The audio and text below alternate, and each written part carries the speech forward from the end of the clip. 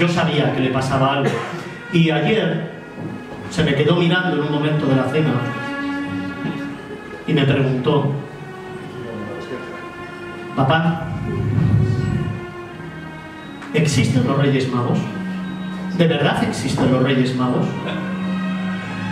Claro, los que tenéis hijos o los que los vais a tener, enfrentarse a esta pregunta yo creo que es la de siempre, es pensar a lo mejor se lo dirán en el cole, a lo mejor sus amigos, los más listos, seguro que se lo desvelan y nosotros no nos vamos a tener que enfrentar a eso. Pues ayer me tocó. Yo le dije, mira Fer,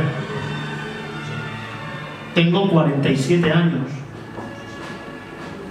y la noche más bonita de todo el año sigue siendo la noche de Reyes la magia, la ilusión, lo que representa la noche de Reyes, pero en sí misma la Navidad, no te la debe de quitar nadie. Y solo, absolutamente solo, si tú en tu corazón sientes que la Navidad sigue siendo mágica, siempre pase lo que pase, estará presente en tu corazón y la transmitirás a todos los demás. Hoy, para mí también es un día importante porque hoy vamos a intentar que la magia de la Navidad esté presente aquí. Habéis visto algunas decoraciones, habéis visto árboles de Navidad, habéis visto regalos. Estáis escuchando la música. La música que hemos querido tener hoy. Porque hoy para nosotros es 25. 25 de diciembre. Y hoy precisamente queremos trasladarnos a un sitio mágico. Queremos trasladarnos a un lugar donde probablemente todo vaya a ser diferente. A lo mejor nosotros, que hemos tenido la enorme suerte por nuestra profesión de viajar, de descubrir lugares infinitos, hemos tenido la oportunidad de ir a descubrir algunos lugares pues como Nuremberg, como Múnich, como Berlín, como Salzburgo, como Viena, lugares donde los mercadillos de Navidad siempre cobran vida y donde todo es diferente y donde la magia es especial.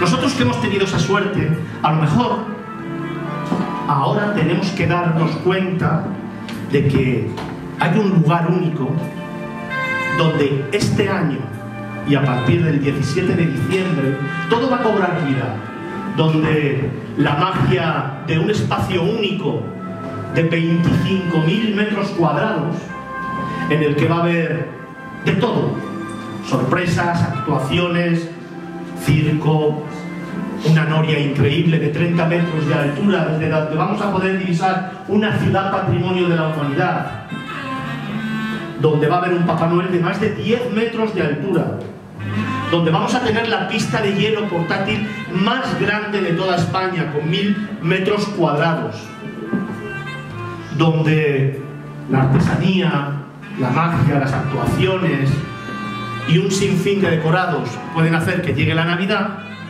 nos va a transportar a un momento mágico, del 17 de diciembre al 7. Donde va a haber infinidad de, infinidad de actuaciones. No es un circo de animales, hay que dejarlo claro, sino que es un circo artístico, un circo en el que se van a producir infinidad de espectáculos todos los días.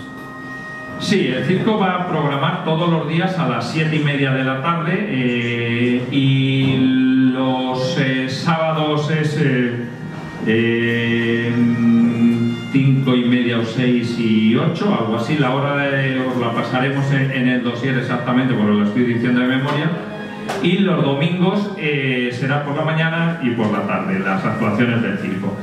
Eh, estará abierto todos los días, pero a la vez, eh, aprovechando las instalaciones del circo, la comodidad de las instalaciones del circo, pues en las mañanas de los sábados habrá conciertos y antes de las siete y media, algunas de las tardes también habrá diferentes actividades. A la vez eh, se le ofrece al comercio de Alcalá de Henares que pueda estar interesado en algún tipo de actividad eh, que sea promocional suya, lógicamente tenemos que encajarla en lo que va a ser el evento navideño.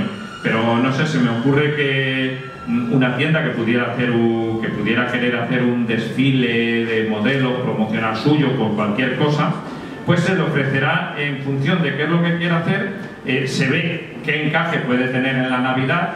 Lógicamente, si alguien no quiere hacer una demostración de coctelería eh, de alcohol, pues no nos encaja en la Navidad, pero si quiere hacer, por ejemplo, un desfile de modelos, pues siempre que el desfile tenga por duración y por consistencia y demás, se le ofrecerá el circo para que lo pueda hacer allí. Y si es una cosa más eh, pequeña, como por ejemplo puede ser una peluquería que dice, hombre, a mí me gustaría hacer una demostración de un peinado, de cómo lo hago, pero claro, lógicamente mm, no vamos a abrir un circo donde van a poder entrar 900 personas a ver a pues entonces se le ofrecerá un pequeño espacio dentro de la carpa donde también puedan realizar eh, algún tipo de, actuación que para ellos pueda ser promocional y que eh, a la vez esté dotando de, contenido y de vida eh, lo que queremos. Porque Alcalá Ciudad de la Navidad es algo que quiere sumar en Alcalá y que quiere que todos los alcalaínos lo sientan un poco como suyos y puedan de alguna manera eh, beneficiarse y promocionarse también en ese espacio.